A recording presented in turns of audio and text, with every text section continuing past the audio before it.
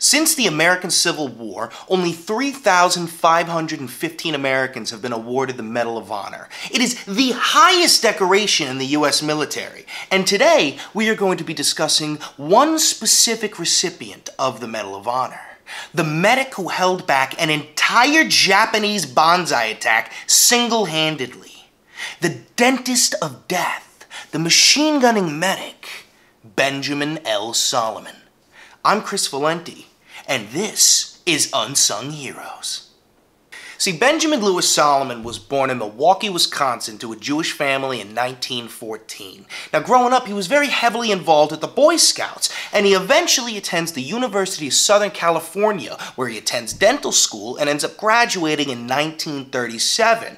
He eventually opens up his own dental practice. However, Everything that Benjamin knew about life was soon going to change because three years later, in 1940, he ends up getting drafted into the U.S. Army and he begins his training as an infantry private.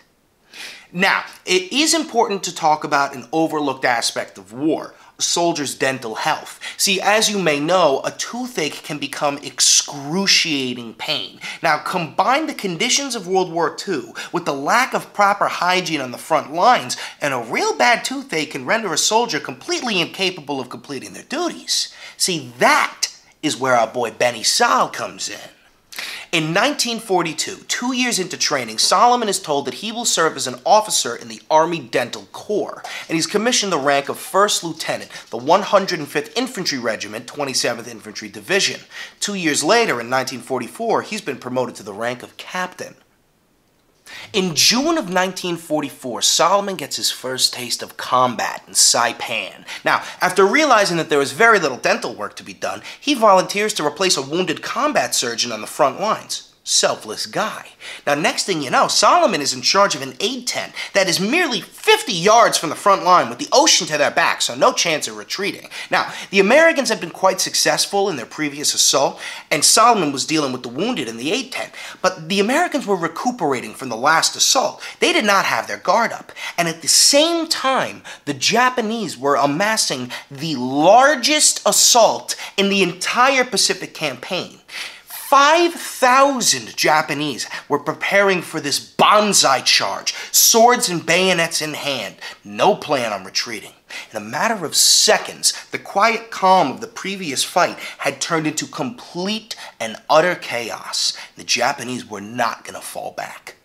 Now, there's intense fighting going on outside of the tent, but Salomon keeps on tending to the wounded.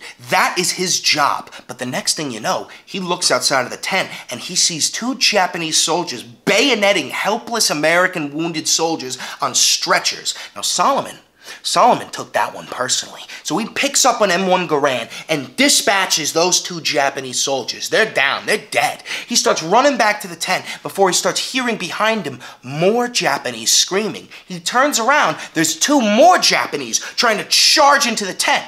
Again, Bang, bang, Salomon dispatches those two.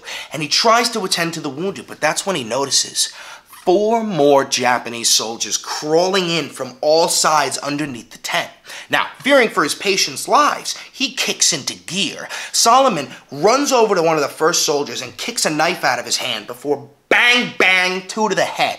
He turns over behind him and he sees another one crawling underneath. Bang shoots him dead. Now, the third one manages to rush up behind Salomon. Salomon withdraws his bayonet and dispatches the enemy soldier. But the fourth Japanese soldier manages to engage Salomon in some intense hand-to-hand -hand combat. And it's going on for a while. But Salomon manages to get the butt of his rifle and smack the Japanese soldier in the stomach, stunning him for maybe a second. Now, during that window, another Another wounded American soldier pulls out a sidearm, the trusty M1911, and puts 245 ACP into that Japanese soldier's chest, and he's down.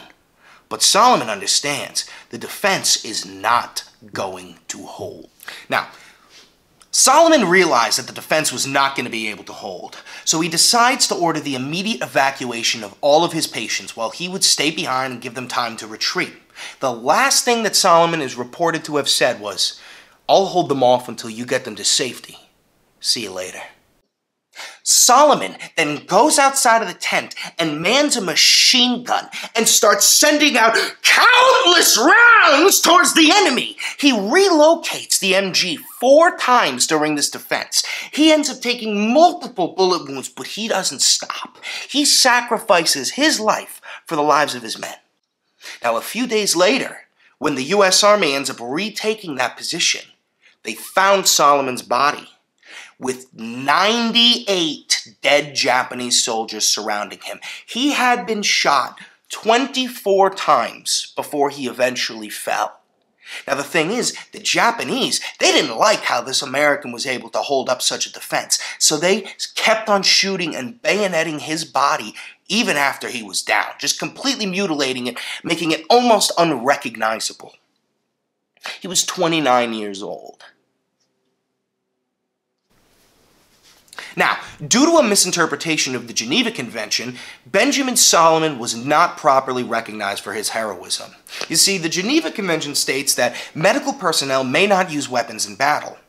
However, that only applies to offensive situations. Now, see, since Salomon was clearly acting in defense of himself and of his patients, he did not violate any of the rules of the Geneva Convention, so he was eventually awarded the Medal of Honor in 2002, 58 years after his death.